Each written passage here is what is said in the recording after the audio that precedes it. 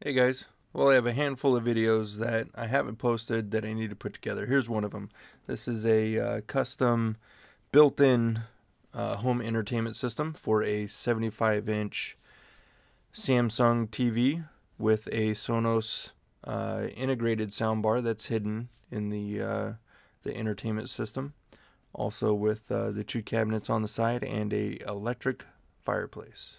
So this is a little bit less of a how-to video and more of just an example of what you might be able to come up with or an idea or whatnot. So started with a blank wall and a TV, got our stud layout, and drew up what the owner thought she wanted um, with a general idea and started framing.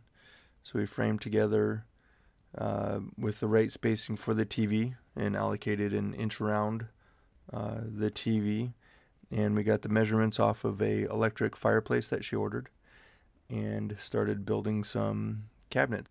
And once the cabinets were in place, then we could start working on the face, which was the exact dimensions to fit our fireplace and TV and soundbar. Then from there is adding the crown, building the crown, and the bottom trim and then from there is on to uh, all the caulk and uh, putty to get everything all cleaned up for paint and built a little uh, bubble around there and did a, a, primer and paint did white on the outside and then the face uh, gets black for the uh, wood slats. You can see there's some uh, samples of staining there for her. And then we painted the the front face black they had the cutest little French bulldog there named Leo. What a what a character. So here's a quick little cutting board that I made for her.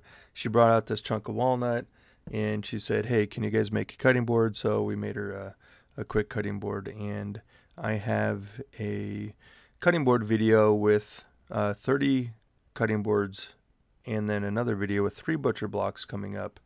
Um, she wanted, she ended up ordering 15 cutting boards for Christmas presents. So I'll have that video coming up for you guys here soon.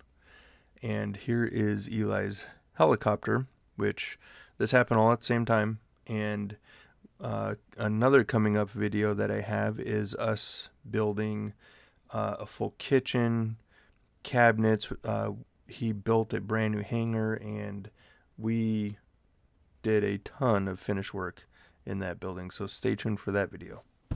So at this point, we had cut all the slats and also all of the shelves and done all the staining and built the picture frame in the open area for the uh, the sound bar inside part of that picture framing, which all included. You can see the uh, black speaker mesh all around there, and the top was removable uh, with magnets.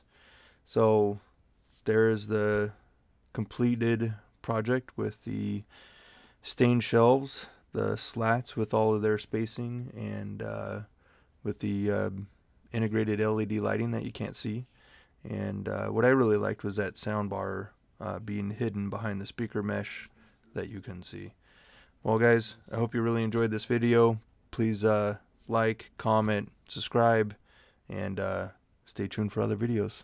Thank you.